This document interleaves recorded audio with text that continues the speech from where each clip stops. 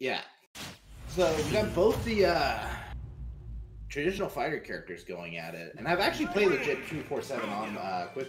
Very good. Oh no no, they both just SD'd. Okay, so this is game one. We're going into Okay. legit 247 versus Smash Daddy. Um, Legit using that down tilt very good for catching those spot dodge. One of Yeah. both these characters have is that they can't cancel some of their normals into their specials. And they can rack up damage very fast. So thing- another. One thing uh, Terry has to worry about is that Ken's got short. You can, can kill Mad early. What Terry has to look, or uh, Ken has to look out for is obviously Jet Power, and when Terry gets it, go. Ooh, takes the stock. That was nice. So gets the the power dunk to finish off the, the first stock of this set. So one thing that's interesting in this matchup is that Ken has a lot of kill confirms before 100. So if Voodoo Pop is able to take the stock before uh, Terry gets that go meter, that'll be huge if he's able to take the stock below 100. So that's definitely one thing I would see being a priority in his mind because when Terry gets go, that, that's uh, That's a most different beast. He's able to get Buster Wolf. And Power Geyser. Yeah, So it's always good to take out Terry before he gets to that, before he gets stays in it for too long, because he can rack up damage with you. yeah. So we're seeing legit 247 take a huge lead to start.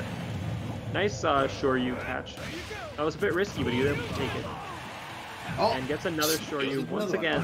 Now, that's failed, the thing. so- It didn't kill. Oh, and he fell out. I don't know if that was really good SDR or not, but either way, the power geyser catches the spot dodge, and now we're seeing a huge lead, and Terry with the go meter. Voodoo Pop's definitely going to want to take the stock right away, as he does with that Shoryu. Really nice. Yeah. It's always good to make sure that Terry does not always have access to go. 'cause That's just trouble if he stays with it for too long. Yeah.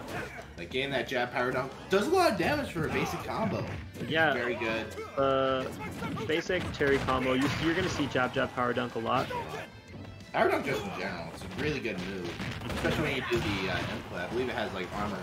Yeah, the down tilt into jab jab power dunk. So we're seeing lots of damage. This huge lead that legit 247 has using the backwards special, which is something only Terry has. Yeah. And now Voodoo Pop is gonna need some some magic to make this comeback. But with Ken and his kill power, it's always possible. But unfortunately, it's not gonna happen.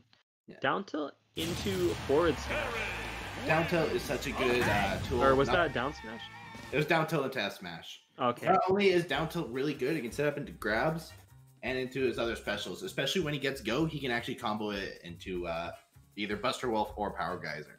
hmm So while Ken was really good at make, doing up damage, Terry just made it look like it was just child's play. Yeah. So one interesting thing, one interesting thing about the matchup between the two fighting game characters is that both of them have auto turn. So instead of one character, you're usually gonna see Ken or Terry or Ryu alone with auto turn, but having them both always face each other is an interesting thing. They don't have as much access to their uh, back air, Mm-hmm. but also there are some benefits.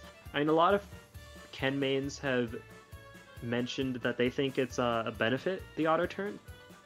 But then there are a lot of people that are vocal about how it's a nerf, so it'll be interesting. yeah. Either way, both of them have it, so I mean, the cross up, the turnaround is good because you can't really be crossed up as easily. yeah. So if somebody tries to cross you up, you'll automatically turn towards them instead of having to take a guess and do the inputs manually. hmm Seen a lot of Kens go for down tilt, get crossed up, down tilt hits anyways, and they're able to get a combo out of it. So stage picks wise, let's see. Um, where do you think they'll take it? Preferably if uh, Ken really prefers having a low, lo- low roof, just because of how early Shoryuken can kill. Like it can kill like pretty heavy characters at very low percents, especially if it's DI'd wrong. So I'd probably be surprised to see Yoshi's um, Battlefield's probably also good. Um, yeah, Yeah, we're That's gonna probably- see. Terry is a lot. He has a lot more uh, options to kill horizontally that's than true. Ken.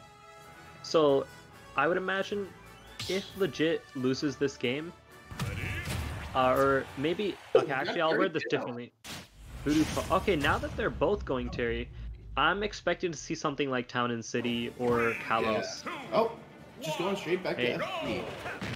Yeah, I mean, that's just the classic, a flat stage. Both of these characters, and Voodoo Pop has decided to ditto legit. Looking pretty close early on. I guess one of the problems was with Ken is that he had to get in close, and Terry has no problem with dealing with people who have to go up close. So we probably match him, want to match him with uh, what he can do. Have So, so legit has had a strong start, but you never know with uh, go. with that go meter. But it's already gone. Legit is just playing wonderfully here. He's applying pressure really well. Knows when to go for combos, and when he does, he gets a lot out of them. Getting back to man input, a rising rising tackle, very good, very invincible on bring one all the way up. One of the problems that uh, Terry has is uh, his recovery. Not a lot of his moves snap to ledge. Yeah, that's why it's so important to get that charge input at times, because that could that could be a di the difference between life and death. Either way, legit continues just like the first game. We're seeing legit carry on and just continue with this lead. The go meter is not utilized at all as Voodoo Pop was not able to get back, and now we're seeing a 3 to 1 stock lead.